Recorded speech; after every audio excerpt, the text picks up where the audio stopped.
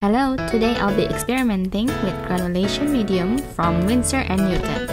For the paints, I choose permanent rose from Winsor & Newton and cerulean blue hue from Shinhan.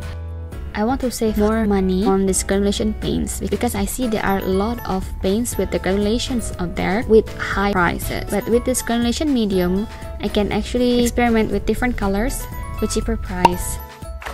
So here, before I begin, I will apply the paint without granulation medium onto the wet paper so that I have something to compare with.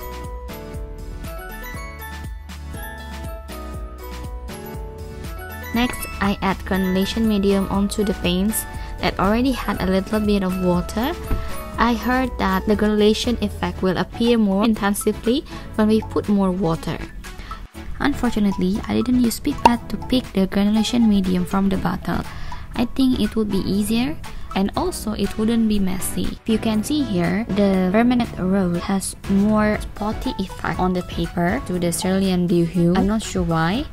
And also on the permanent rose, it has slightly bigger clumps for further experiment, I apply again the paint that has had medium, but this time the paint has it with a medium for 7 minutes. I kinda give a thicker pigment this time. The result is that on the second experiment, the granulation effect is still apparent, but less dramatic for the cerulean blue hue.